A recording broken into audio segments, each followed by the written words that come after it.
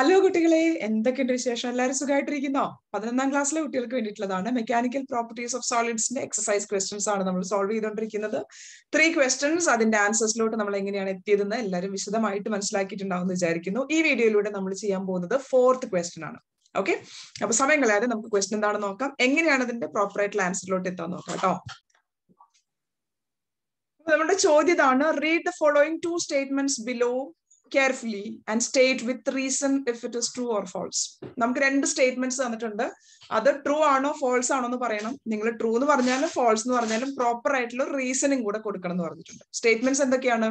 Young's modulus of rubber is greater than that of steel അടുത്ത question stretching of a coil is determined by its shear modulus ഈ രണ്ട് സ്റ്റേറ്റ്മെന്റ്സും true ആണോ false ആണോ നമുക്ക് അത് നോക്കാം.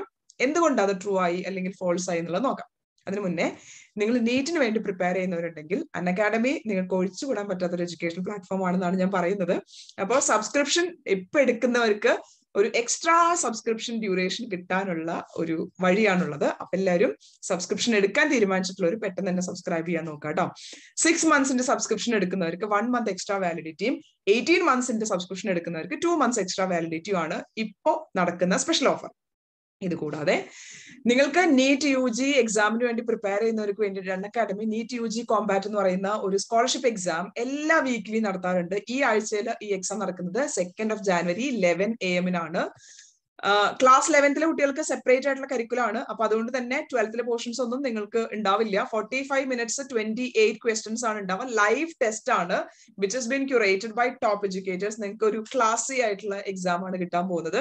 എക്സാം എഴുതിയതിനു ശേഷം ഡീറ്റെയിൽഡ് ആയിട്ടുള്ള വീഡിയോ സൊല്യൂഷനും അവൈലബിൾ ആയിരിക്കും. അപ്പൊ ഈ ഒരു ഓപ്പർച്യൂണിറ്റി എന്തായാലും എടുക്കാം. ഇനി നിങ്ങൾക്ക് ടോപ്പ് റാങ്കേഴ്സ് ആയിട്ട് വരാൻ പറ്റുവാണെങ്കിൽ ബെനിഫിറ്റ് ഉണ്ട് കേട്ടോ. ഇത് ഫ്രീ ആയിട്ട് എഴുതാൻ പറ്റുന്ന എക്സാം ആണ്. എൻറോൾ ചെയ്യുന്ന സമയത്ത് ജസ്റ്റ് നോഫ് എന്ന് പറയുന്ന കോഡ് യൂസ് ചെയ്യുകയാണെങ്കിൽ നിങ്ങൾക്ക് ഈ ഫ്രീ സ്കോളർഷിപ്പ് എക്സാം അൺലോക്ക് ചെയ്യാൻ പറ്റും. അത് കഴിഞ്ഞിട്ട് നിങ്ങൾക്ക് എക്സാമിന് വേണ്ടിയിട്ട് എൻറോൾ ചെയ്യാനും പറ്റും. ഓക്കെ ഇതിന്റെ ബെനിഫിറ്റ്സ് എന്ന് പറയുന്നത് top three റാങ്കേഴ്സിന് hundred percentage scholarship plus medal plus merit certificate ഇനി ടോപ്പ് ടെൻ റാങ്കേഴ്സിനാണെങ്കിൽ സെവന്റി ഫൈവ് പെർസെന്റേജ് സ്കോളർഷിപ്പും ടോപ്പ് ഫിഫ്റ്റി റാങ്കേഴ്സിന് ഫിഫ്റ്റി പെർസെന്റേജ് സ്കോളർഷിപ്പും വൺ ഫിഫ്റ്റി വരെയുള്ളവർക്ക് ട്വന്റി ഫൈവ് പെർസെന്റേജ് സ്കോളർഷിപ്പും കിട്ടുന്നുണ്ട്. അപ്പൊ ഈ ഒരു റെയർ ഓപ്പർച്യൂണിറ്റി നിങ്ങൾ മിസ്സാക്കാതിരിക്കുക നല്ല എക്സാം ആയിരിക്കും. ഡെഫിനറ്റ് ആയിട്ടും എല്ലാവരും ജാനുവരി സെക്കൻഡിന് ലെവൻ എ എമ്മിന് ഈ എക്സാം എഴുതാനായിട്ട് ശ്രമിക്കുക കേട്ടോ. ഓക്കെ ഇനി നമ്മുടെ ക്വസ്റ്റിനിലോട്ട് തിരിച്ചു വരുവാണെങ്കിൽ നോക്കാം. എന്തൊക്കെയാണ്? റീഡ് ദ അലോയിങ് സ്റ്റേറ്റ്മെന്റ് അല്ലല്ലോ? ഫോളോയിങ് സ്റ്റേറ്റ്മെന്റ്സ് അല്ലെ? ഫോളോയിങ് സ്റ്റേറ്റ്മെന്റ്സ് ഫോളോയിങ് സ്റ്റേറ്റ്മെന്റ്സ് രണ്ട് സ്റ്റേറ്റ്മെന്റ് ഉണ്ട്. ആദ്യത്തെ സ്റ്റേറ്റ്മെന്റ് വായിക്കാം. The Young's modulus of rubber is greater than that of steel Young's modulus എന്ന് വെച്ചാൽ എന്താണ്? Y is equal to stress divided by strain എന്ന് വെച്ചാൽ ഒരു കോൺസ്റ്റന്റ് ആയിട്ടുള്ള സ്ട്രെസ് എടുത്തു വിചാരിക്കുക. സ്ട്രെസ് എന്ന് വെച്ചാൽ എന്താ? ഫോഴ്സ് ഡിവൈഡഡ് ബൈ ഏരിയ ആണ്. അപ്പൊ നമ്മൾ ഫിക്സഡ് ആയിട്ടുള്ള ഒരു ഫോഴ്സ് കൊടുത്തു. For example ten newton force വെച്ചുകൊണ്ട് നമ്മൾ സ്റ്റീലിനെയും റബ്ബറിനെയും പിടിച്ച് വലിക്കാൻ ശ്രമിച്ചു. നിങ്ങളൊന്ന് പറഞ്ഞേ ആർക്കായിരിക്കും കൂടുതൽ സ്ട്രെയിൻ സംഭവിക്കാൻ പോകുന്നത്? ഒന്ന് ആലോചിച്ച് നോക്കിയേ ഒരു സ്റ്റീൽ വയറും ഒരു റബ്ബറും. രണ്ടിനും നമ്മൾ ഒരേ ഫോഴ്സ് കൊടുക്കുകയാണെന്നുണ്ടെങ്കിൽ which will get elongated more rubber is going to get elongated more which means for a fixed stress strain is more for rubber right strain more ആണെങ്കിൽ അതിന്റെ അർത്ഥം എന്താ യങ്സ് മോഡുലസ് കുറവായിരിക്കണം because Young's modulus is inversely proportional to strain so for a fixed stress strain is uh, more for rubber which means young's modulus of rubber is lesser than that of steel അപ്പൊ young's modulus of rubber is greater than that of steel എന്ന് എഴുതിയിട്ടുള്ളത് False ആയിട്ടുള്ള statement ആണ്. Reason കൃത്യമായിട്ട് എല്ലാവർക്കും മനസ്സിലായി എന്ന് വിചാരിക്കുന്നു.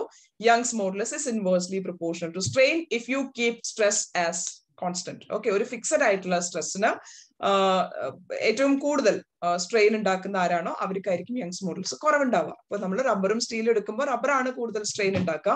So Young's models of rubber is going to be lesser okay അടുത്തത് stretching of a coil is determined by its shear modulus stretching of a wire അല്ല ഇവിടെ പറഞ്ഞിരിക്കുന്നത്? സ്ട്രെച്ചിങ് ഓഫ് എ കോയിൽ എന്നാണ് പറഞ്ഞിരിക്കുന്നത്. Shear modulus has got connection with change in shape Young's modulus has got connection with change in length bulk modulus have got connection with change in volume നമ്മളൊരു വയറിനെ പിടിച്ച് stretch ചെയ്യുവാണെങ്കിൽ അതിന്റെ എന്താ സംഭവിക്കുക sorry not wire it's a coil കോയിലിനെ നമ്മൾ stretch ചെയ്യുന്ന സമയത്ത് it's shape is going to change അല്ലെ? ഷേപ്പ് ചേഞ്ച് ചെയ്യുന്നതുകൊണ്ട് തന്നെ it has got connection with shear modulus okay ഒരു കോയിലിനെ നമ്മൾ പിടിച്ച് സ്ട്രെച്ച് ചെയ്യുവാണെങ്കിൽ it's shape is going to change shape change ചെയ്യുന്നതുകൊണ്ട് it is having connection with Young's modulus അതുകൊണ്ട് രണ്ടാമത്തെ സ്റ്റേറ്റ്മെന്റ് ട്രൂ ആണെന്ന് വന്നു ഓക്കെ ആദ്യത്തെ സ്റ്റേറ്റ്മെന്റ് ഫോൾസ് ആണ്. കൃത്യമായിട്ട് റീസൺ മനസ്സിലായി കാണും.